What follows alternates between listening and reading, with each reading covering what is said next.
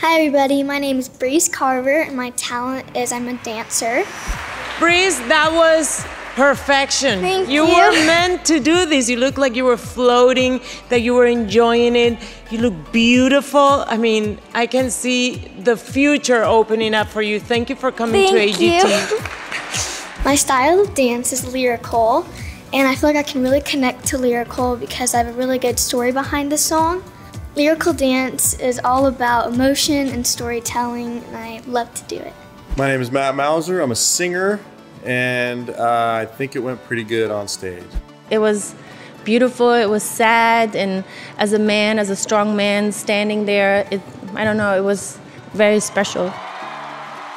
You know, people say don't quit your day job, but um, and I didn't. I was a school teacher, so I was a school teacher and I sang at night. So I didn't quit my day job until I had to, and then when the music kind of took off, I uh, was I did it. Hey, my name is Madilyn Bailey. I am a singer songwriter, uh, originally from Wisconsin, but now I live in LA.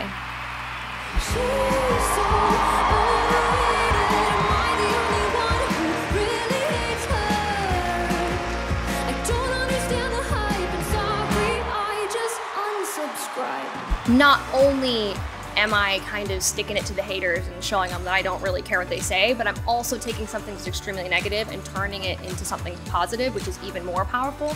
Hi, I'm Gigi Deluxe, And I'm Devin. and we are from beautiful New Orleans, Louisiana. I'm a professional sword swallower and archer, and Devin is my human target. I've been performing for going on six years now. I've been shooting archery for going on 10. And Devin has been my human target since he was 13. So we've been performing together for about six, seven years now. I have twins. She has a twin brother, and she was the braver of the two, so she got the job.